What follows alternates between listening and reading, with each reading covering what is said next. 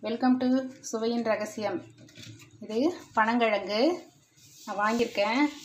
இது உடம்புக்கு ரொம்ப நல்லது.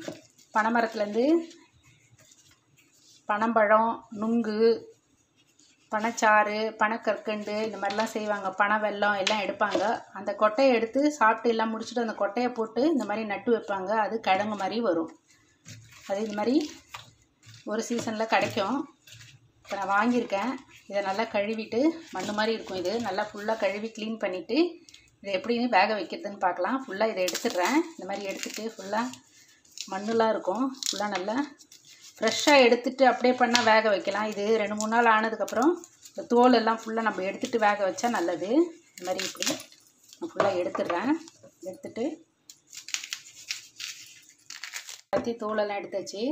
இந்த கடைசியில் இந்த வேறு மாதிரி இருக்கும். அதை மட்டும் கொஞ்சம் லைட்டாக கட் பண்ணிவிட்டு நம்ம ஃபுல்லாக கழுவி எடுத்துடுறேன். இந்த மாதிரி நல்லா தேய்ச்சி நல்லா கழுவிட்டோம். மண் இல்லாமல் க்ளீனாக கழுவியாச்சு. இது ரொம்ப பெருசு பெருசாக இருந்ததுன்னா கொஞ்சம் கட் பண்ணிக்கோங்க. இந்த மாதிரி பண்ணிவிட்டு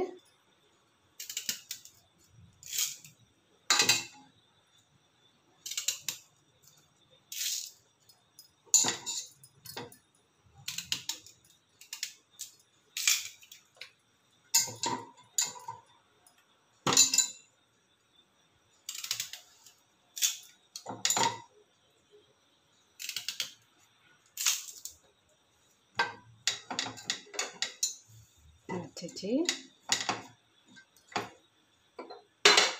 இப்போ உப்பு ஒரு கல் உப்பு ஒரு டீஸ்பூன் வர மாதிரி போட்டுருங்க.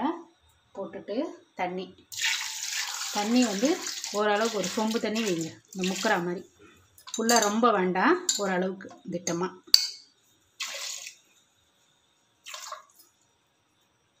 வச்சுட்டு இதில் வந்து மூடி போட்டு ஒரு ஏழு விசில் வர வச்சு நம்ம எடுத்துக்கணும்.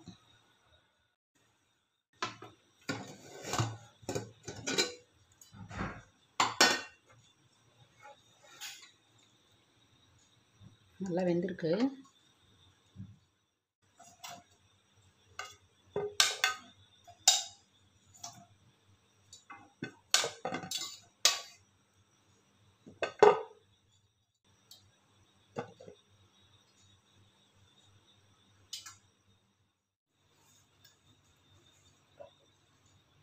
நல்லா வெந்திருக்கு பாருங்கள் இந்த மாதிரி எடுத்திங்கன்னா நார் வரும்.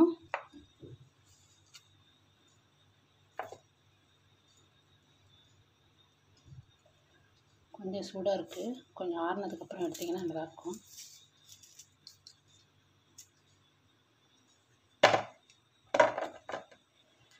இந்த உள்ள ஒரு நீட்டாக ஒரு குச்சி மாதிரி இருக்கும். அதுவும் சாப்பிட்லாம். ஆனால் அது கொஞ்சம் நா நார் மாதிரி இருக்கும்.